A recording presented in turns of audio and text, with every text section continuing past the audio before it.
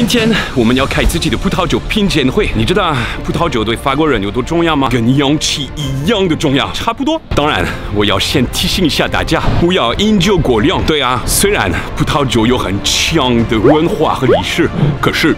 还是酒。我到了 Paradox 法国餐厅，在上海青浦这边附近有很多国际学校，德法学校啊，英国、美国、新加坡学校，而且住在这边附近的人，大部分都是葡萄酒爱好者。葡萄酒爱好者。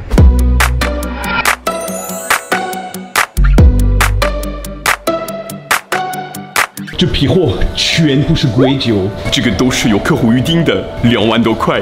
今天很大部分是法国的葡萄酒，主要来自波尔多和勃艮第产区。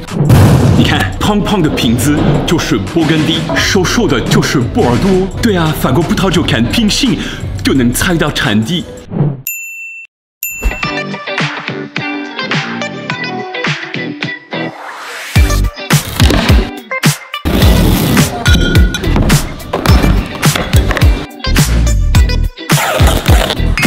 这款 Clos de Vougeot 要两千多块一瓶，What？是特别稀少的。等一会儿，如果有超大 VIP 客户来了，我们就会开一瓶吧。Two hours later，哇，大客户来了，我来开。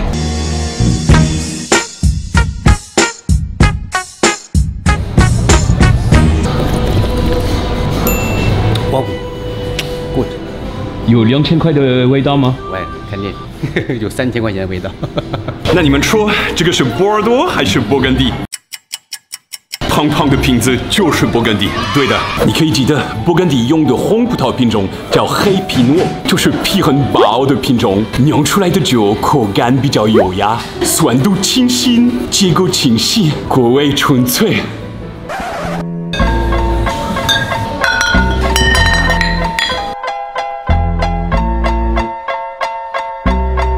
开始了，这款酒精度很高，十五度，雅克男爵。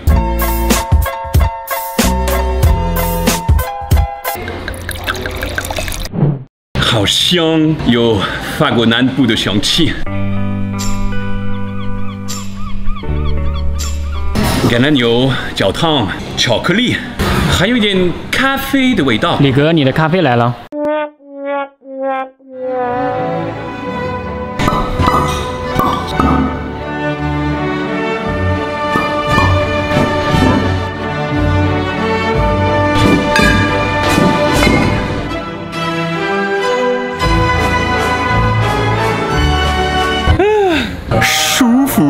这个就是法国人的 lifestyle。可是这边是中国。好，我们快要准备，贵宾五点钟就会来。波尔多的葡萄酒大部分都会混合两个葡萄品种。波尔多产区一般就分右岸和左岸，右岸的酒以美乐为主，比较果香、柔和、清新、舒服；左岸以赤霞珠为主，酒体比较浓郁、饱满、复杂，回味很长。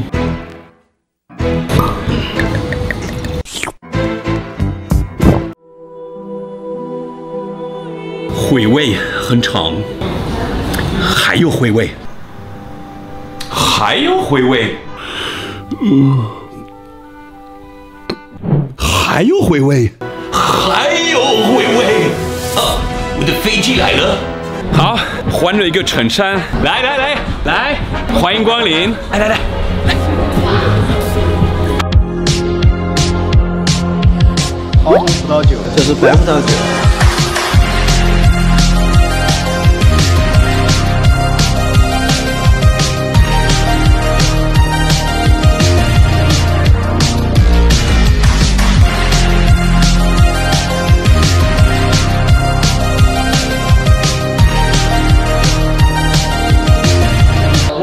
这个哦，勃艮第的，这款勃艮第的，好喝，喝吧。好了，我回家了。品鉴会圆满结束了，大成功。那你呢？你参加过葡萄酒品鉴会吗？你可以评论一下，别忘记点个赞和关注哦。